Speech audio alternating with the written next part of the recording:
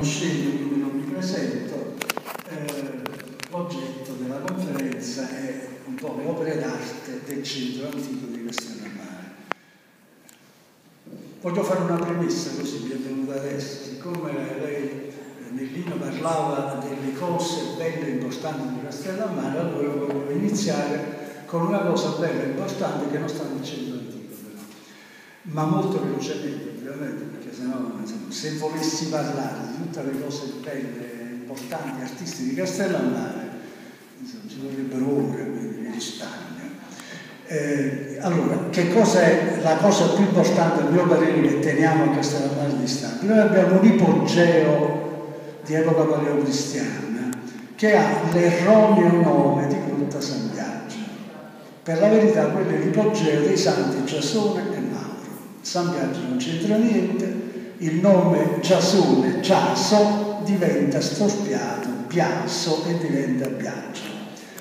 Ma non c'entra niente. È dedicato a questi due eh, san martiri cristiani martirizzati a Roma insieme ai genitori e i benedettini le furono i primi a utilizzare questo ipogeo e a trasformare un'antica catacomba un antico cimitero cristiano in chiesa, lo dedicarono ai santi Giasone e Maria è normale perché i benedettini nella zona hanno intitolato molti oratori a questi santi Giasone e Maria. È importante perché c'è un ciclo pittorico di affreschi che va dal VI al X secolo. È un bene importantissimo che dovrebbe far parte dei beni dell'UNESCO. Purtroppo, poiché sta Castellammare è sconosciuta e chiusa, bene ha fatto il comune durante il lancio dei monumenti ha regolarizzato, perché in effetti non è agibile, perché ci sono le tombe aperte a terra, eccetera.